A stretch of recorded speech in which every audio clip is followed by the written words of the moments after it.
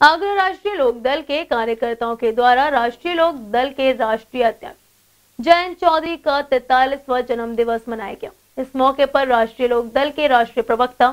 पवन आगरी व पंडित दुर्गेश शुक्ला व पार्टी के अन्य कार्यकर्ताओं के द्वारा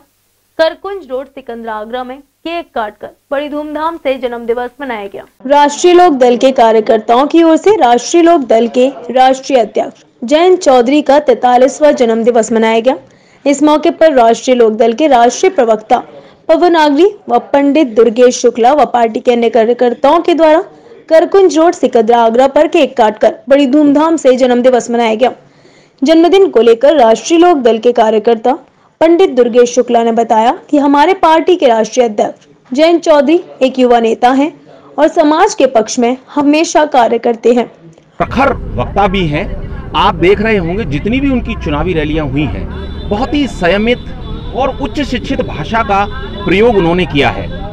तो सर्व समाज उनकी तो उनकी ओर उन्मुख है और पूरी तरह से आज हम ये जितने भी सर्व समाज के लोग हैं, जिसमें अन्य जातियों को जिस तरह से उन्होंने समायोजित किया है, उनको उच्च पदों पर आसीन किया है, आज सब लोगों ने ये निर्णय लिया है कि हम सन 2022 में जो सपा और रालोद का जो गठबंधन है, उस गठबंधन को हम बहुत बहुमत के साथ विजयी बनाने जा बीजेपी वालों के योगी सरकार से को न्यू से न्यू ढीली हो गई है, हल्की पड़ गई है उनकी, वो काँप गए हैं, इसलिए नए नए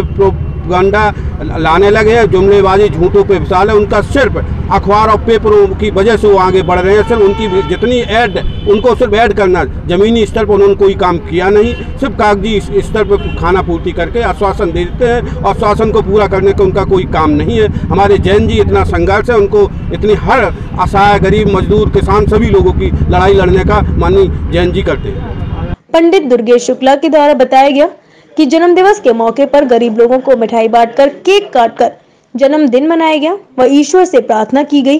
कि हमारे पार्टी के राष्ट्रीय अध्यक्ष जयंत चौधरी की उम्र लंबी हो और सदा समाज हित में कार्य करते रहें।